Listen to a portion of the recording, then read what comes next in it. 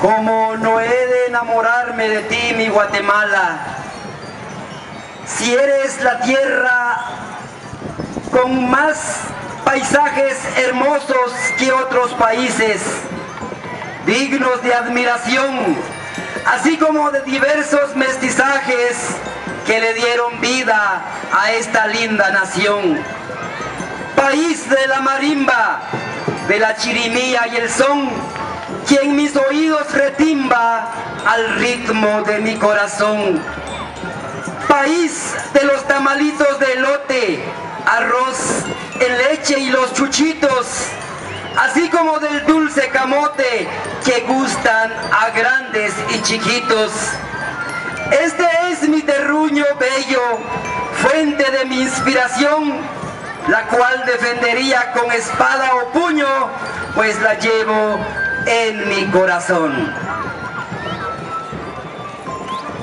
Un cordial saludo a la honorable corporación municipal, al, supervisor educativo del distrito 13, licenciado Abraham Patzibal, señores directores y directoras de los diferentes establecimientos, señores quienes son los responsables de los cantones de nuestro municipio de Patzum,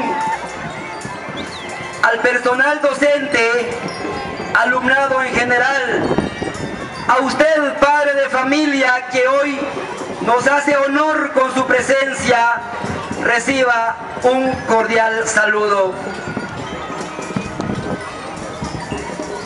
Decíamos en días anteriores que educación cívica no es únicamente saludar a nuestra bandera, tampoco es solamente cantar los bellos versos de nuestro himno nacional.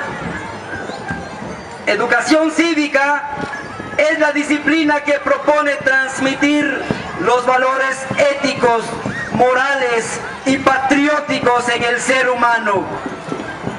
Los contenidos de educación cívica están relacionados con los deberes y derechos de la persona, los valores morales y sociales como la veracidad, la sinceridad, la responsabilidad y la solidaridad, el bien, la justicia, la honradez, la constancia y la lealtad, la humildad, la tolerancia, la gratitud y la cortesía.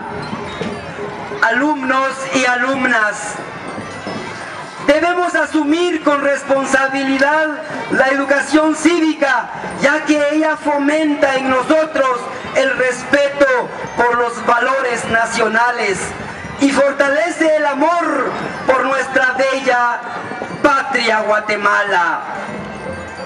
La educación cívica nos enseña a ser buenos ciudadanos y que desde pequeños los niños manejen conceptos que les permitan enfrentar problemas sociales.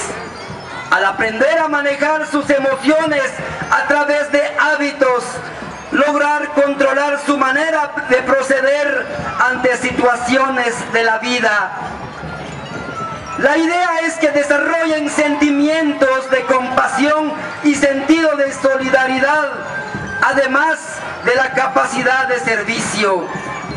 El objetivo es ayudar al individuo a desarrollar capacidades para buscar soluciones a los problemas por medio del aprendizaje teórico y práctico. Abnegados maestros, no nos cansemos en inculcar en nuestros estudiantes una buena educación cívica, que su relación y su comportamiento con, los con las demás personas, tanto con la familia como con los amigos y compañeros, sea con responsabilidad. La educación cívica también es el desarrollo que promueve el entendimiento y la comprensión es la combinación de normas que regulan la vida social y formación de valores y actitudes que le dan paso para poder parte de la sociedad y participar por un mejoramiento de la convivencia social. Pero la educación cívica no solo es tarea del maestro,